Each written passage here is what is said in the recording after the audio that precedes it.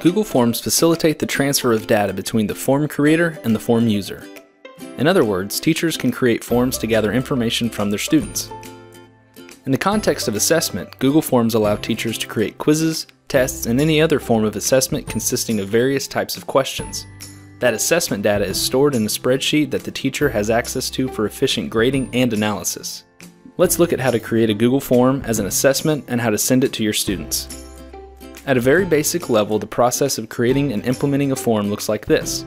The teacher creates the form and provides students with a link to the form. Students fill out the form and their responses are automatically sent to a pre-made spreadsheet in the teacher's Google Drive. Most of the time, Google will automatically create this response spreadsheet as soon as the form is created. Let's build a simple 5-question quiz. First, open your Google Drive and navigate to the folder where you'd like the form to reside. Click New and select Google Forms. You may need to hover over the More first, but it's in there. A new tab will open in which you can edit the form. Before we look at creating individual questions, let's become familiar with the three main sections of the form editor, form settings, questions pages, and the confirmation page. The form settings section provides you with some options about how the form will work. Requiring a Denton ISD login to view means that the person filling out the form has to be logged in to their DISD Google account.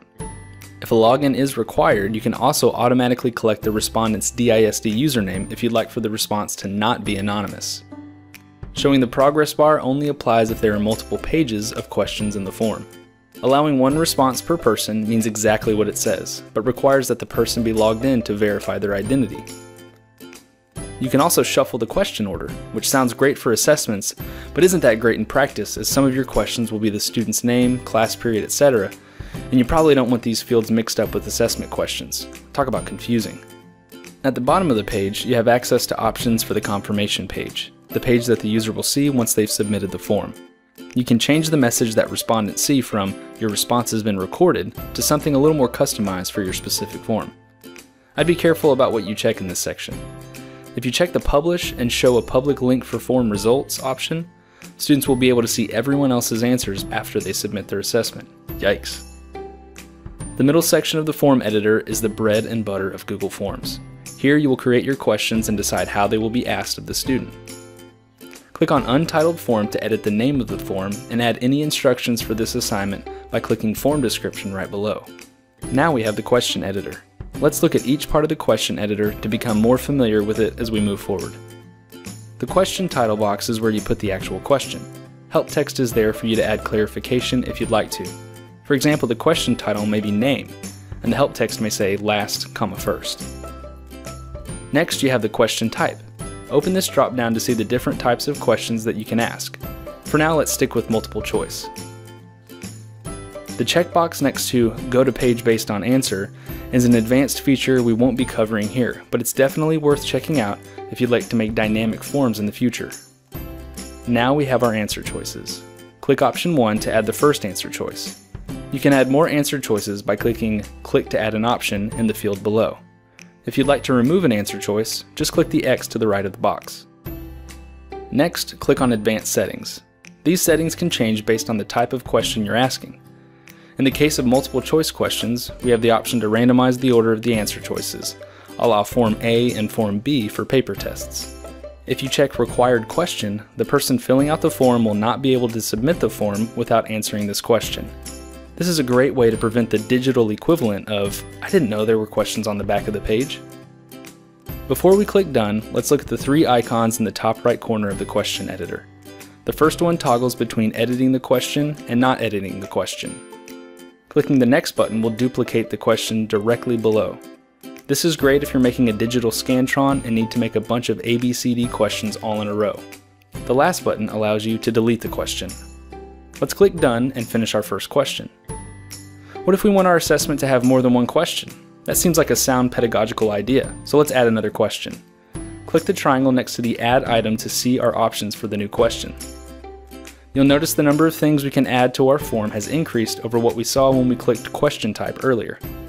Not only can we add a basic question, like the ones listed on the left, but we can add advanced type questions as well as items that aren't questions at all, but can add a layer of customization to our form. A section header allows for multiple sections within a form. For example, you can add a section header between the name and class period questions at the beginning of a form and the actual assessment questions after. Page breaks will allow you to create forms with multiple pages. In other words, with page breaks, you can take a 30 question quiz and break it into three pages with 10 questions and next buttons that will take you from the page with questions 1 through 10 to questions 11 through 20 and 21 through 30. Images and videos can also be added to add a multimedia element to your assessments. This is a great option for teachers that rely on items other than text for assessment questions. Things like math problems and charts can be saved as images and uploaded to a form to use with questions. So, we've built our form and we have it exactly like we want it. Now let's have a little fun with the look of the form. Click on Change Theme near the top of the page. On the right side of the screen, you'll see a window open. These are different aesthetic themes that you have access to that can make your form look as delightful as you'd like. You can use one of these pre-packaged themes or you can even customize it further to your liking. That's completely up to you. Once you've decided on a theme, click Edit Question on the left side of the screen to go back to the question editor. Now we have questions and we have a form that looks really cool. From there, all we need to do is get that form in the digital hands of the people that need to fill it out, your students.